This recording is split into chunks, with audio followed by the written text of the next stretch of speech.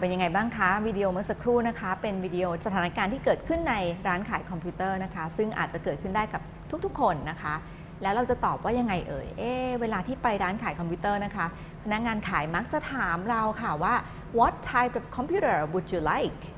ใช่ไหมคะผู้ชายคนนั้นบอกว่า I'm not sure ถามว่าเอ๊อยากได้คอมพิวเตอร์ประเภทไหนหรอที่กำลังมองหาอยู่ ผู้ชายบอกว่าไม่แน่ใจนะคะ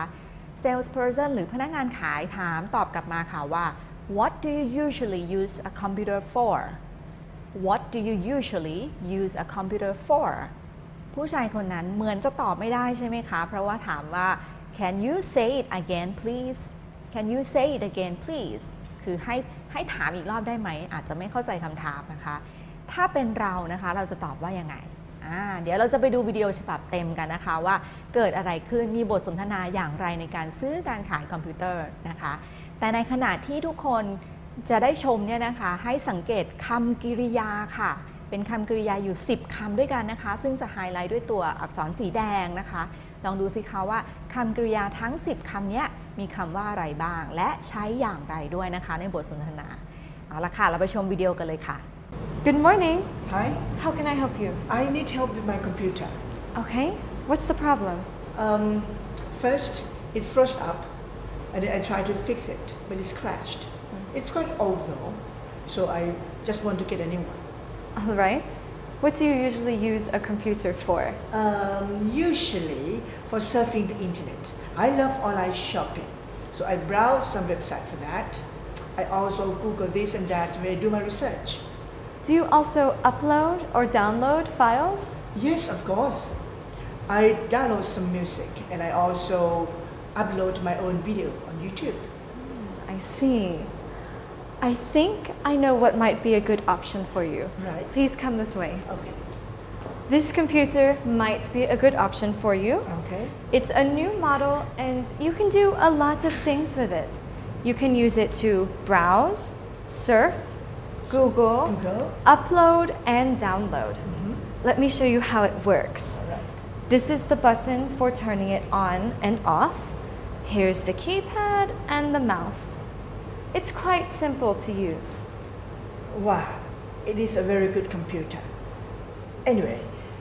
are there any offers from the store if you want to buy it? Sure, we are going to install complimentary software Uh-huh. and an antivirus program for you. Alright.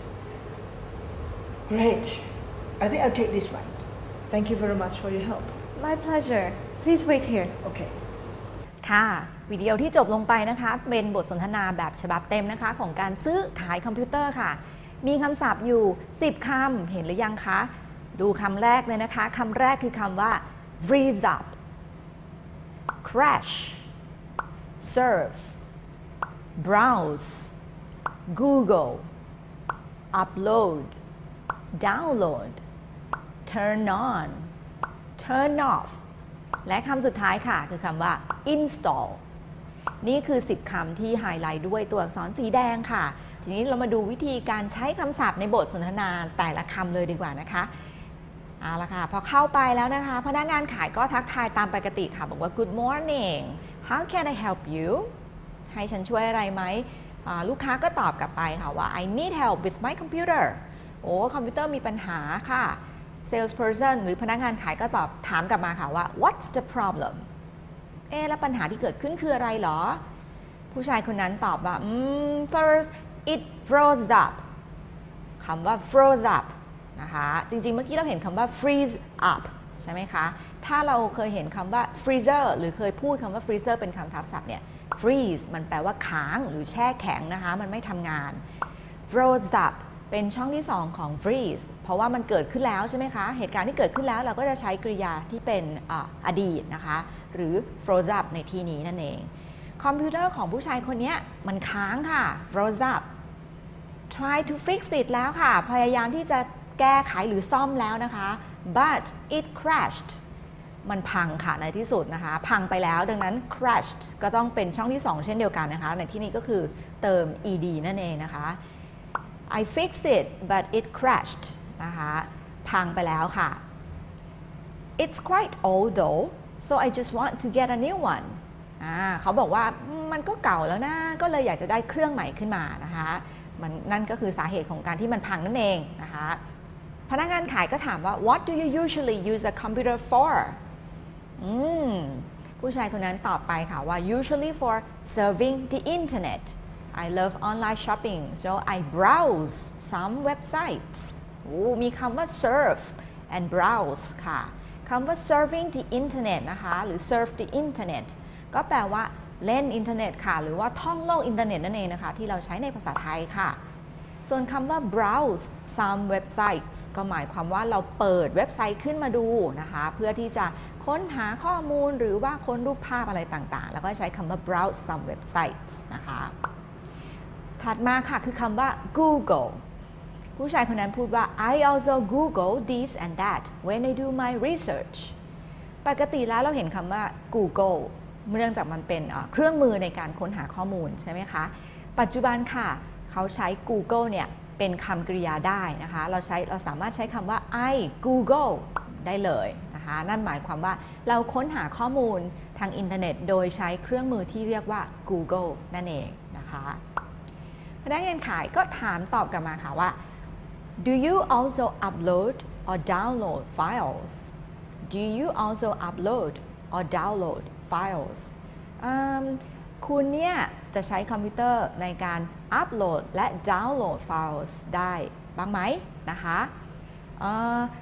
จริงๆ แล้วคำว่า upload and download ทุกคนใช้ในชีวิตประจำวันแล้วนะคะสองคำนี้เป็นคำตรงกันข้ามกันค่ะ upload ก็คือ นำขึ้นไปข้างบนใช่ไหมคะ บนแม่ขายหรือเครือข่าย เป็นการถ่ายโอนข้อมูลต่างๆนะคะ ขึ้นไปสู่ยังเครือข่ายนะคะดาวน์โหลดดาวน์โหลดในทางตรงกันข้ามค่ะเมื่อมีการถ่ายโอนข้อมูลขึ้นไปแล้ว บางครั้งเราก็ถ่ายโอนข้อมูลลงออกมาจากแม่ขายนะคะ ดังนั้นก็เหมือนดึงข้อมูลออกมาเก็บไว้หรือบันทึกไว้นั่นเองนะคะ บางครั้ง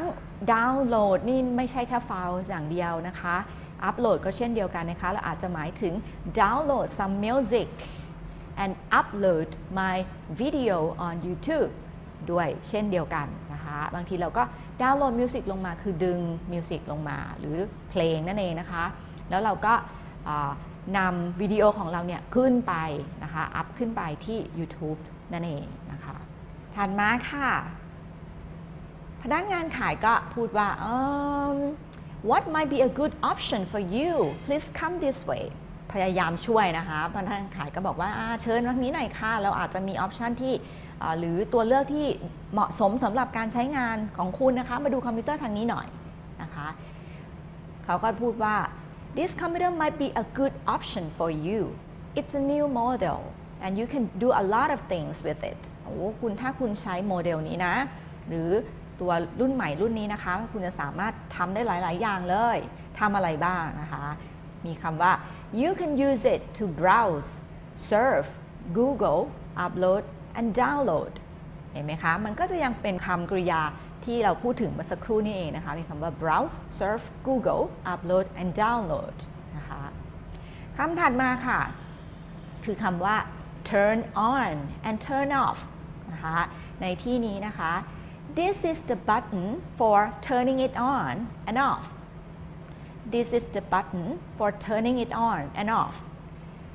คำว่า turn on ก็คือเปิดนะคะ ในที่นี้คือเปิดเครื่องใช้ไฟฟ้า หรือเปิดคอมพิวเตอร์นะคะ turn off ก็เช่นเดียวกันค่ะ เปิดเครื่องใช้ไฟฟ้าต่างๆ รวมทั้งคอมพิวเตอร์ด้วยนะคะคำว่า this is the button for turning it on and off ก็หมายความว่าเนี่ยคือปุ่มใช่ไหมคะ เป็นการโชว์ว่านี่คือปุ่มเปิดและก็ปิดคอมพิวเตอร์นั่นเอง คำสุดท้ายค่ะที่เราจะมาดูกันนะคะ หลังจากที่ก็มีการสาธิตการใช้คอมพิวเตอร์ต่างๆ แล้วเห็นไหมคะ ลูกค้าก็โอ้พึงพอใจมากเลย พูดว่าว้าว it is it is a good computer นะคะ Are there any offers from the store if I want to buy it เอแล้วทางร้านเนี่ยจะมีมีอะไรแถมให้หรือเปล่านะคะ salesperson หรือพนักงานขายตอบว่า sure we are going to install complementary software and antivirus program for you นะคะมีคำว่า install ค่ะคำว่า install ทุกคนก็